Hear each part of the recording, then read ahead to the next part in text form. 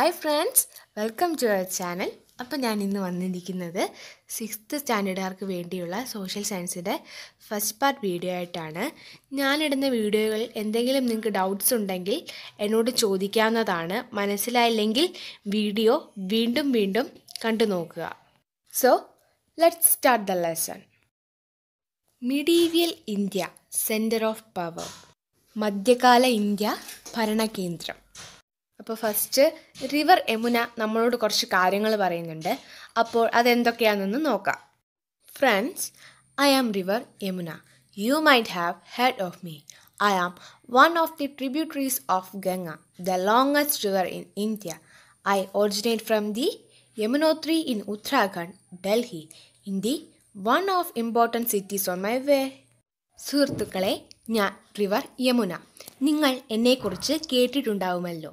ഞാൻ ഇന്ത്യയിലെ ഏറ്റവും നീളം കൂടിയ നദിയായ ഗംഗയുടെ ഒരു കൈവഴിയാണ്. ഉത്തരാഖണ്ഡിലുള്ള യമുനോത്രിയിൽ നിന്നാണ് ഞാൻ ഉത്ഭവിക്കുന്നത്. എന്റെ വഴിയിലെ ഏറ്റവും പ്രധാനപ്പെട്ട ഒരു നഗരമാണ് Delhi. The Qutub Minar the Iron Pillar of Mehrauli the Jama Masjid the Red Fort the India Gate. Many such majestic historical monuments can be found here.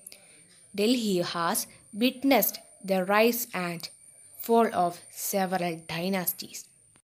Qutub Minar മെഹറത്തിലുള്ള Iron Pillar Jama Masjid Red Fort India Gate ഇത്തരം ഗംഭീരമായ ചരിത്ര സ്മാരകങ്ങൾ ഇവിടെ കാണാം നിരവധി രാജവംശങ്ങളുടെ ഉയർച്ചയ്ക്കും തകർച്ചയ്ക്കും സാക്ഷ്യം വഹിച്ചിട്ടുള്ള ഒരു നഗരമാണ് Delhi across the topography of Delhi ഡൽഹിയുടെ ഭൂപ്രകൃതിയിലുടനീളം.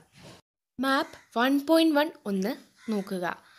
ആ മാപ്പിൽ നിന്ന് നമുക്ക് എന്തൊക്കെ ഇൻഫർമേഷനാണ് കിട്ടുന്നത്? അവിടെ ഇൻഡോ ഗംഗാറ്റിക് പ്ലെയിൻ എന്ന് പറഞ്ഞൊരു പോയിന്റ് തന്നിട്ടുണ്ട്.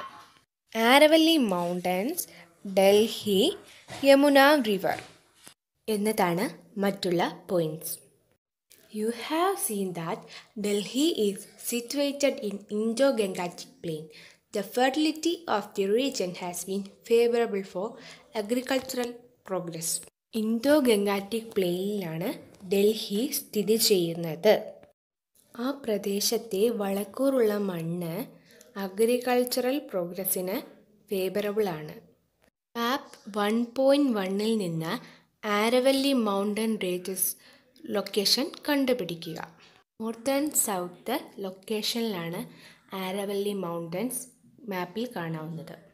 These mountain ranges help Delhi to resist the invasion of enemies ഈ ആരവല്ലി മൗണ്ടൻ റേഞ്ചസ് ശത്രുക്കളുടെ കടന്നുകയറ്റത്തിൽ നിന്ന് ഡൽഹിയെ രക്ഷിക്കുന്നു.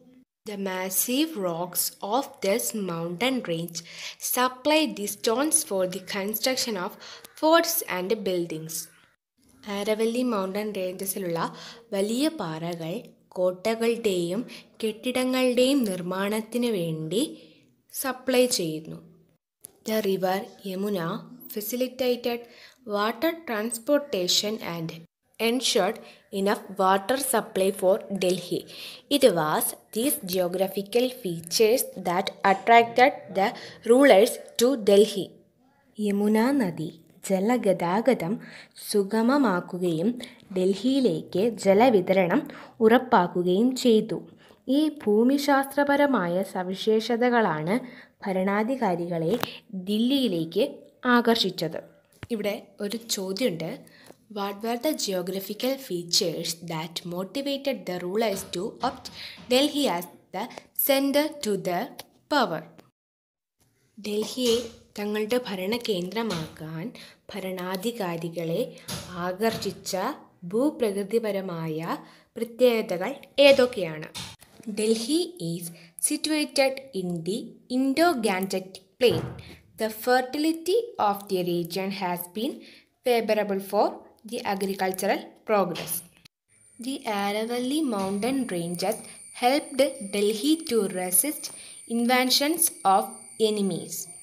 The massive rocks in the mountain range is supplied the stones for the construction of forts and buildings. The river Yamuna facilitated water transportation and ensured enough water supply for Delhi.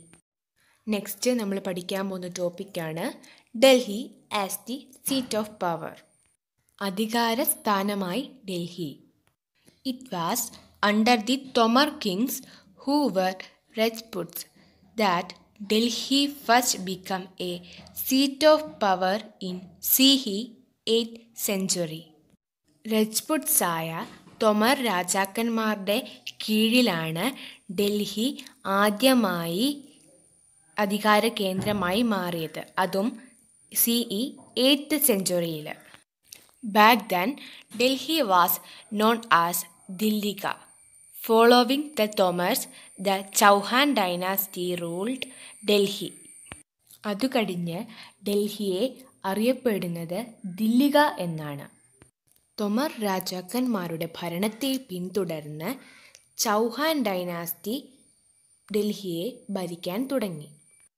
Prithviraj Chauhan was the last king of the Chauhan dynasty Muhammad of Ghor in the present Afghanistan defeated Prithviraj Chauhan and established his domination over Delhi Muhammad of Ghor എന്ന രാജാവ് ഇപ്പോഴത്തെ അഫ്ഗാനിസ്ഥാനിൽ വെച്ച് പൃഥ്വിരാജ് ചൗഹാനെ കീഴ്പ്പെടുത്തി അഥവാ വധിച്ചു. എന്നിട്ട് ഡൽഹിക്കു മുകളിലുള്ള പൃഥ്വിരാജ് ചൗഹാന്റെ ആധിപത്യം കൈക്കലാക്കി Qutbuddin Aibak was his commander in chief. Muhammad of Ghor എന്ന രാജാവിന്റെ കമാൻഡർ ഇൻ ചീഫ് ആയിരുന്നു Qutbuddin Aibak after the death of Muhammad of Ghor Qutbuddin established his rule in C E one thousand two hundred and six with Delhi as the seat of power. Muhammad of ഖോറിന്റെ മരണത്തിന് ശേഷം കുത്ബുദ്ദീൻ ഐബക് അദ്ദേഹത്തിന്റെ rule establish ചെയ്തു. അതും E one thousand two hundred and സിക്സിൽ ഡൽഹിയെ seat of power അല്ലെങ്കിൽ ഭരണകേന്ദ്രമാക്കിക്കൊണ്ട് this dynasty is known as Mamluk dynasty അല്ലെങ്കിൽ slave dynasty. ഈ രാജവംശത്തെ മംലുക് ഡൈനാസ്റ്റി എന്ന് അറിയപ്പെടുന്നു. Four major dynasties ruled Delhi after the decline of Mamluk dynasty and their rule lasted until CE 1526. The rulers of Delhi between CE 1206 and CE 1526 are known as sultans and this period of their reign is known as Sultanate period.